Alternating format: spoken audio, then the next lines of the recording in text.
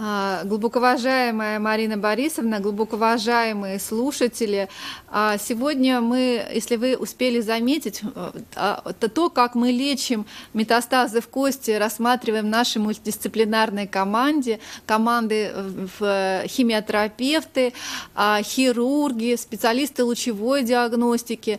Мы затронули вопросы возможности локального контроля с помощью холода, и, и мы все говорим, говорим об одной и той же проблеме, о патологии костной ткани у онкологических больных.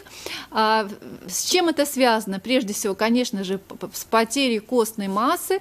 На фоне противоопухолевого лечения это может быть проявлением как остеопороза, разрежения костной ткани, и также при метастазах в костях а, при распространенном опухолевом процессе. А, при, у нас есть две непосредственно, точнее, есть э, две, да, две группы клеток. Есть клетки, которые ответственны за восстановление а, костной плотности. Это, это клетки под названием остеобласты. А есть клетки, которые а, отвечают за а, разрушение костной, старой костной ткани, это остеокласты.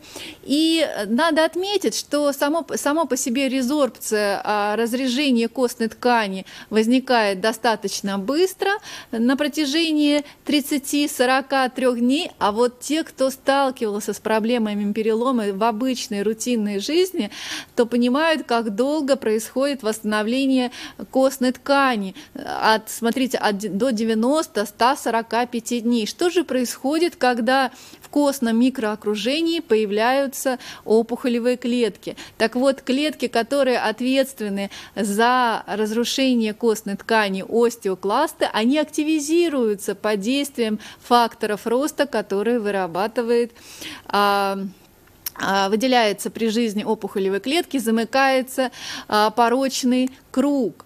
И у нас есть две точнее даже несколько, три а, вида а, патологического поражения костной ткани при злокачественном процессе. Это так называемые остеолитические а, очаги, они же метастазы, и есть остеобластические очаги. Если говорить более понятным языком, то остеолитический очаг, по большому счету, это дырка в кости, кости, извините. А остеобластические метастазы, когда возникает незрелая костная ткань. И вот на рентгенологических снимках мы можем увидеть забеленные, а, забеленные очаги.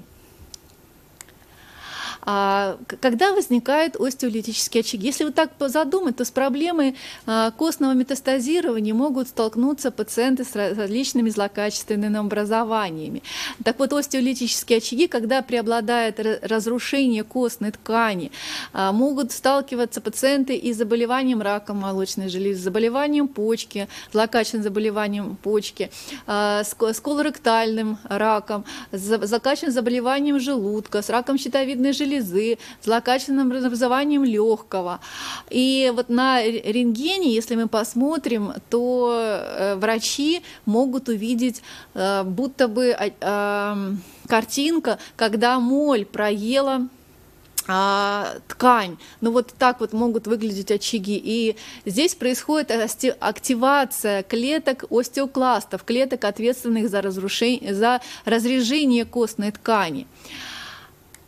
И, а остеобластические, то, что я говорила, вот эти вот замиленные очаги э, остеобластически незрелой рыхлой костной ткани.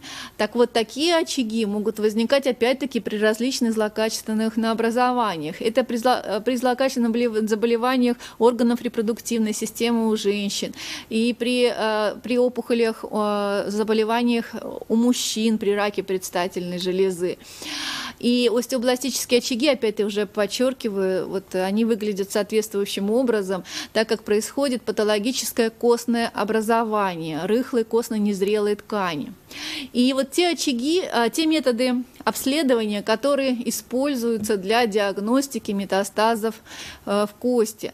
Э, сцинтиграфия – это метод скрининговый. По данным остеосцинтиграфии мы видим накопление радиофармпрепарата. Данный метод не является установ... методом устанавливающий диагноз. Мы только видим, что есть у пациента очаги, накапливающие радиофармпрепарат. И обязательно уточняющие методики, о которых сегодня говорил Григорий Владимирович, это выполнение рентгенографии, выполнение магнитно-резонансной томографии, компьютерной томографии.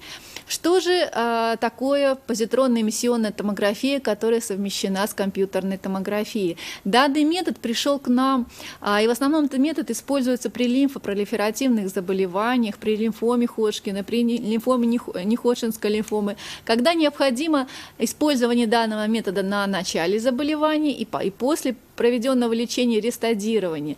Используется живая молекула глюкозы, в которую инкорпорирован изотоп, и любая пролиферирующая ткань, будь то, напряж... Э, будь то рубцовая ткань, будь то даже напряженная мышца или же мышечная ткань, или же просто а, а, также лимфатические узлы, не обязательно это будут а, специфического генеза, будут накапливать глюкозу, а если они накапливают глюкозу, вместе с собой они накапливают и изотоп. И мы очень часто сталкиваемся, когда наши пациенты, желая сделать лучше получить большую информацию, а, получают э, очаги накопления глюкозы радиофармпрепарата. Там даже есть такая латинская аббревиатура СУФ и не знают, что с этим делать. Так вот, э, я призываю пациентов э, все-таки выполнять те назначения, которые рекомендуются врачом. А, и так как выполняет то же самое позитронную эмиссионную томографию, которая не является методом панацеи, а как диагностический метод, мы сталкиваемся очень часто с различными проблемами. Так вот, остеосцинтиграфия, о которой мы очень много говорим, и с чем сталкиваются наши пациенты. А, а вот, например, а, классические случаи. Ну, вот у пациента с заболеванием, ну, вот более показательно это молочная железа, потому что наиболее часто встречаются проблемы, связанные с костной э, тканью. А, есть очаг в молочной железе, есть а, метастазы в кости. Мы начинаем лечение благополучно видим практически полный регресс изменений в молочной железе, а по данным остеосцинтиграфии, которые пациент решил выполнить в динамике, а, или, или же там доктор рекомендовал через полгода выполнить, мы видим появление новых очагов. А с чем же это связано? Да, очень просто. И нам, мне вот даже в свое время очень хорошо а, объяснили специалисты а, из нашей изотопной диагностики, что при, при раке молочной железы на начале заболевания могут быть литические очаги, э, дырка в костной ткани, не, а, которая не кровоснабжается, и, собственно, изотоп на, э, в этот очаг не будет накапливаться. А мы проводим лечение, эффективное лечение полгода, очаги а, опухолевые уничтожаются, и на месте литического очага возникает незрелая костная ткань, так называемые склеротические очаги, которые будут накапливать изотоп. И вот эти невидимые очаги, дырки в кости, они будут через полгода видны. Так вот, мы, а, специалисты, почему именно надо обращаться к врачу и не спешить а, впадать в панику, когда пациенты приходят на прием и говорят, вот, Татьяна Юрьевна, беда, беда, беда, у меня много-много очагов. Мы начинаем разбираться и объяснять, что в ряде случаев появление новых очагов по остеосцинтиграфии не является а, что это именно истинные очаги. Поэтому в динамике, конечно, если остеосцинтиграфия ими используется только на этапе скрининга, ее выполнили, в начале заболевания, выбрали маркерные очаги, которые отслеживаются по компьютерной томографии, и только потом, если будет нужно, мы сделаем остеосцинтиграфию. Но я также хочу сказать, что каждый раз необходимо использовать только один и тот же метод. Если это была магнитно-резонансная томография, то это будет магнитно-резонансная томография. А нельзя так, чтобы сначала была МРТ, потом ПЭТ, потом еще другие методы, рентген. Мы очень много получаем информации, которые не можем сопоставить, и методы с разной чувствительностью и диагностической ценностью. А рентгенография также при разрежении костной ткани менее 30% ряд очагов мы можем в костной ткани метастазов мы можем не увидеть. Ну вот, например, ситуация, когда пациенту выполнили остеосцинтиграфию. А, все, казалось бы, а, благополучно. Точнее, извините, я а, хотела сказать, пациенты выполнили остеосцинтиграфию, выявлены очаги в позвоночнике.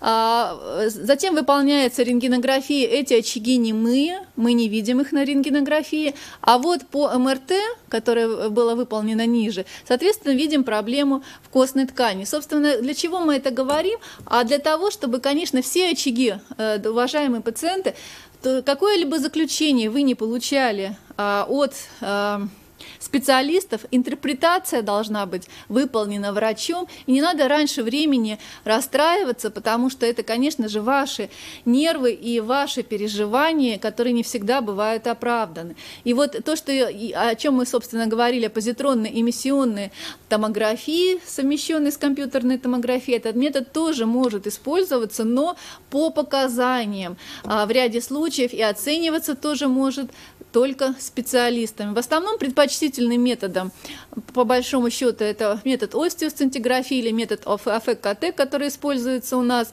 Одна, э, э, Однофотонная эмиссионная компьютерная томография, также совмещ... Э, при которой используется изотоп. Но я хочу сказать, что в каждой конкретной ситуации а, нужно подходить индивидуально. Но по остеосцинтиграфии очаги выявлены, требует обязательной конечной диагностики методами рентгенографии или магнитно-резонансной томографии. С чем сталкиваются наши пациенты а, вследствие развития а, метастатического процесса в костях скелета? Это патологический перелом, компрессия спинного мозга, хирургические операции, о которых сегодня рассказывал Григорий Владимирович, о том космосе хирургии, которым мы овладели на сегодняшний момент, и лучевая терапия противоболевая, но непосредственно также может возникать боль наиболее значимый и доставляющий наибольшие проблемы для наших пациентов, и гиперкальцемия, накопление кальция, которое выявляется по данным биохимического анализа крови. И только комплексный подход нашей команды специалистов, включающих и, э, и специалистов лучевой диагностики, и хирургов, и, конечно же, специалистов лекарственной терапии. Здесь, э, если пациенту показано в целом выполнение, есть активизация процесса, проходит специфически направленная терапия непосредственно на сам процесс зависимости от паспорта опухоли, а вот уже с целью закреп... А, воздействия на костную ткань используются остеомодифицирующие агенты, которые, условно говоря, цементируют поврежденную костную ткань, если так это можно образно сказать. Чем, какие, что за препараты остеомодифицирующие агенты? А, есть две группы. Это бисфосфонаты и ингибитор ранглиган, так называемый таргетный препарат нового поколения. Все эти препараты уменьшает частоту осложнений, связанных с поражением костной ткани, удлиняет период до возникновения новых скелетных осложнений и снижает болевой синдром и потребность в анальгетиках. Чем, собственно, отличается воздействие а, диносумаба от бифосфонатов? Да, все на самом деле просто. А, ости, а, бифосфонаты не происходит непосредственное воздействие с костным матриксом кости, а вот диносумаб здесь происходит воздействие еще до взаимодействия с костной тканью. И происходит а, дезактивация клеток, которые участвуют в процессе разрушения костной ткани. Здесь не повреждаются остеокласты, а снижается их активность на уровне созревания, то есть уменьшается количество созревающих остеокластов. Но когда приходит, говорит, Татьяна Юрьевна, вы не могли бы мне назначить более лучшие препараты? Так вот я хочу сказать, что что за, что за лидроновая кислота, что а, диносумаб, это два совершенно полноценных препарата из, из разных групп. Но вот что характер, чем отличает а, диносумаб деносумаб от э, залидроновой кислоты. Деносумаб – это моноклональное антитело, которое вводится а, подкожно, а, обладает остеомодифицирующим воздействием на костную ткань, а, соответственно, Залидроновая кислота, кроме а, остеомодифицирующего воздействия на костную ткань, доказано обладает еще и противоопухолевой активностью, в том числе, например, при раке молочной железы. Этот факт действительно отмечен, зарегистрирован, поэтому в каждой конкретной ситуации пациенту назначается конкретный препарат. И не значит, что залидроновая кислота хуже диносумаба, а диносумаб лучше залидроновой кислоты. Это два совершенно таких вот самостоятельных а, препаратов и полноценных препаратов. А, вот еще что очень важно, по всем а, международным рекомендациям и э, в рекомендациях АОР пока у нас не появилось раздела, касающийся сопроводительной терапии, но он обязательно появится в ближайшее время, отмечено, что а, только подтвержденные очаги требуют назначения остеомодифицирующих агентов. Сам по себе метастаза по остеосцинтиграфии – это не показание к назначению остеомодифицирующих агентов. Обязательно нужна верификация либо рентгенологическим методом, либо методом магнитно-резонансной томографии. А, назначаются остеомодифицирующие агенты с момента появления костных метастазов именно с целью лечения и профилактики костных осложнений. Само по себе развитие патологического перелома, болевого синдрома не является поводом для прекращения лечения. А, так как э, в данном случае, например, мы уже сегодня было сказано, что законы фи э, физического тяготе, э, силы притяжения, если мы если позвонок вследствие компрессионного перелома снизил высоту своего диска, то никакой препарат у него нет ни ручек и ножек, чтобы технически снять компрессию на нервные волокна. Только хирург своими руками с помощью э, стабилизации и соответствующих методик может снять воздействие на нервные волокна. Но вот препарат в данном случае не помощник. Поэтому это не то, что препарат не работает. Просто вот э, произошла такая ситуация, связанная с разрежением костной ткани, которая привела к осложнениям, требующих коррекции. И Спрашивается вопрос, как долго назначать остеомодифицирующие агенты. Так вот, по всем существующим рекомендациям с момента диагностики и постоянно. Оптимальная длительность терапии неизвестна, и в ряде случаев она может определяться осложнениями. А что деносумаб, что э, залидроновая кислота.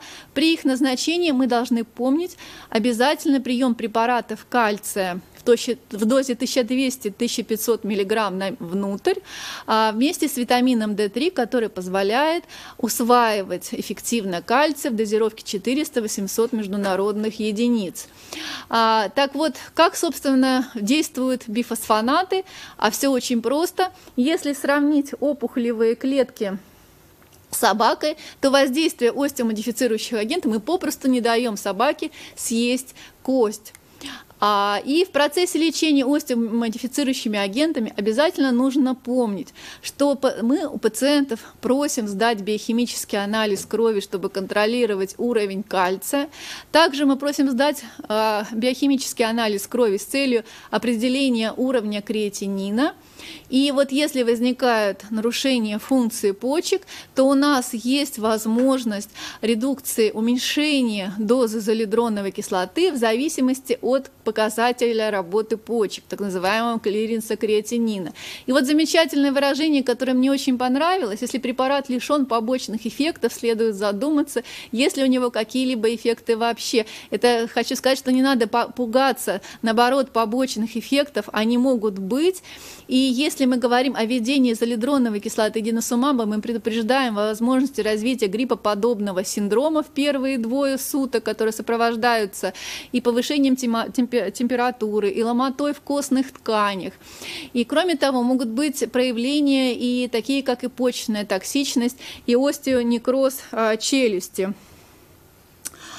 А, и здесь, если говорить о остеонекрозе челюсти, это достаточно а, такое серьезное осложнение, с которым мы видим все, однако, реже, поскольку наши стоматологи уже и специалисты, работающие, челюстно-лицевые хирурги, прекрасно знают и осведомлены, что если пациент получает остеомодифицирующие агенты, обязательно должна выполняться санация полости рта, а И здесь также не рекомендуется у пациентов, которые получают остеомодифицирующие агенты, э, постановка металлических конструкций в полости рта. А, и вот что еще мы рекомендуем? Вот а, в любом случае перед началом не то, что даже химиотерапия, назначение остеомодифицирующих агентов, обязательно санация полости рта, адекватная гигиена, антибиотика, профилактика при хирургических вмешательствах полости рта. И вот уже я подчеркиваю, что уста установка исключена имплантов, потому что это повышается риск остеонекроза верхней или нижней челюсти. Конечно же, консультация стоматолога каждые 6 месяцев, поскольку все вот именно такой вот мультидисциплинарный подход позволяет улучшать качество жизни. Но с чем мы еще связ... сталкиваемся?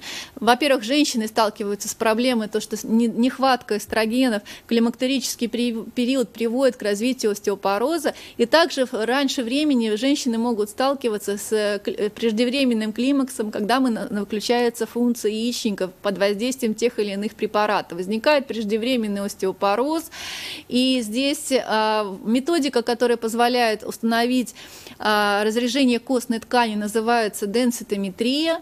Это двухэнергетическая рентгеновская а, абсорбциометрия, такой вот метод, который устанавливает минеральную плотность, минеральный состав костной ткани.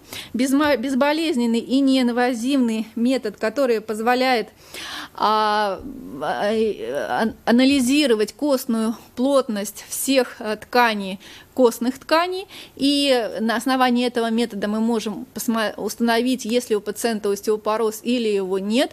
Так, например, в отсутствии онкологического диагноза такой проблемой занимаются эндокринологи, а если такая проблема возникает на фоне а, назначения Например, у женщин в адюванте назначаются ингибиторы ароматазы, и, и в таких ситуациях раз в полгода назначается, например, залидроновая кислота. Но мы должны помнить, что, конечно же, здоровый образ жизни, физическая нагрузка здесь крайне важны, специальная гимнастика, кальций и витамин D3 при необходимости. Обязательно нужно оценивать а, минеральную плотную а, костную плотность каждые полгода при при, с помощью метода денситометрии. И таким образом, еще раз подвести итоги, я вот буквально даже вышла на время своих вопросов, но я думаю, что следующий доклад мы начнем по времени, но еще хочу еще раз напомнить те основные рекомендации, те вопросы, которые задают пациенты на приеме, что еще раз э, хочу отметить, что назначение остеомодифицирующий агент необходимо только при э, рентгенологических подтвержденных метастазов или по данным МРТ остеосантиграфия не является методом, на основании которого назначается а, лечение, связанное с остеомодифицирующими агентами. Обязательно а, учитывать на, прием препаратов кальция, витамина D3, а оптимальная продолжительность остеомодифицирующего агента спрашивают, как долго для каждого пациента определяется индивидуально. А прогрессирование метастатического процесса в костях не является показанием отмене кости модифицирующих агентов. Это лишь свидетельствует о том, что нужно активизировать системное лечение, а остеомодифицирующие агенты просто не справляются с, а, вот, э, с подавлением клеток, которые а, остеокласты, которые еще дополнительно активизируются опухолевой тканью. Поэтому не нужно э, думать, что при прогрессировании процесса в этом виноваты остеомодифицирующие модифицирующие агентов. И что еще хотелось сказать, что вот да, профилактика остеонекроза, она возможна, то есть, точнее, развитие остеонекроза возможно на фоне остеомодифицирующих агентов, но если мы будем ухаживать за полостью рта, а как-то это сказали, самое грязное место в нашем организме, как это ни странно, то а, мы избежим такого грозного осложнения, и даже с осложнениями на фоне химиотерапии у нас будет их намного меньше. Я благодарю вас за внимание.